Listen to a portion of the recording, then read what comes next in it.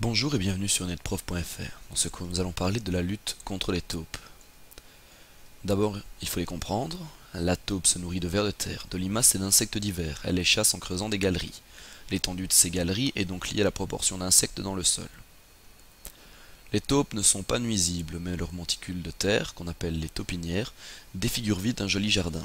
De plus, elles peuvent rapidement détruire un potager en creusant des galeries au niveau des racines de nos tendres légumes. Pourquoi creusent-elles ces taupinières Eh bien, pour aérer leurs galeries. Ces dernières se trouvent entre 15 et 50 cm sous nos pieds. En creusant, la taupe accumule de la terre qu'elle rejette en surface.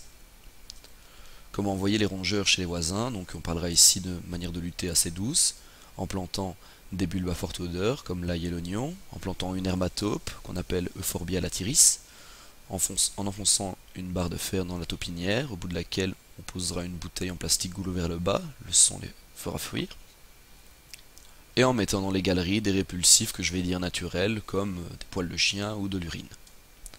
À la guerre comme à la guerre, passons aux choses sérieuses, il existe dans le commerce des pièges à pince à poser à l'intérieur des galeries pour capturer la taupe dès son premier passage.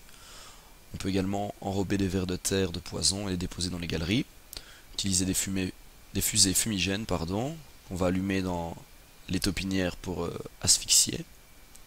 Ou encore, on peut prendre contact avec un taupier professionnel qui va être habilité à gazer au phosphore d'hydrogène. Évidemment, s'il y a peu de taupinières, il est inutile d'engager une guerre sans merci.